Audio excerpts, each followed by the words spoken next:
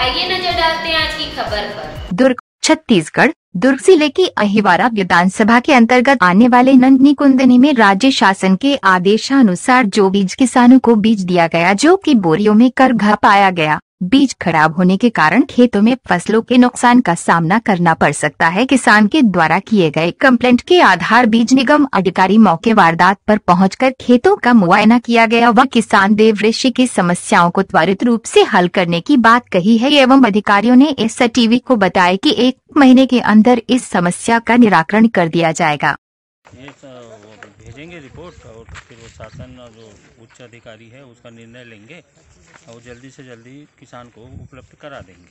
क्योंकि अभी ऐसा हो गया था कि फ़सल कटने का समय आ रहा है। हम्म, अगर जाँच अधिकारी तत्काल रिपोर्ट अगर नहीं सौंपेंगे सौंपेंगे तो इसमें मुआवजा मिलने में भी देरी होगा ऊपर से किसान को जो है बर्बादी के रास्ते में आ जाएगा। जल्दी जल्दी सौंपने की कोशिश करेंगे। एकदम बहुत जल्दी रिपोर्ट मिल जाएगी। आपकी दृष्टि से एक महीने के अंदर ये कार्य हो सकता है? नहीं उससे पहले हो जाएगा।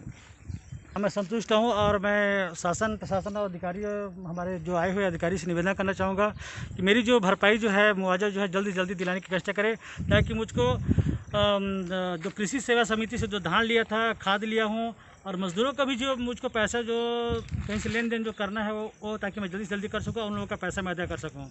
ऐसे में मेरी विषम स्थिति यह आ जाएगी कि ना तो कर्जे पटाने ना ना कर्जे भी पटाने में मैं मैं मना नहीं कर सकता ना मजदूर का मैं मजदूरी दे, भी देने में मना नहीं कर सकता। देव जी आप इस एरिया में आपके सिवा और कोई किसान कभी इस तरह की घटना घटी? और ये तो कई लोग आते रहते हैं तो मुझको बताते रहते हैं कि इस टाइप की घटना मेरे भी खेत में हुआ है मेरे भी खेत में हुआ है ऐसा कई लोग ऐसे बताते रहते हैं मेरे को। मगर सामने आने में हाँ। हाँ तो मैं निवेदन करना चाहूँगा कि मैं- आदरणीय हमारे बीच आए हुए अधिकारियों लोगों से कि मेरा भरपाई मुआवजा दिलाने की कष्ट करेंगे।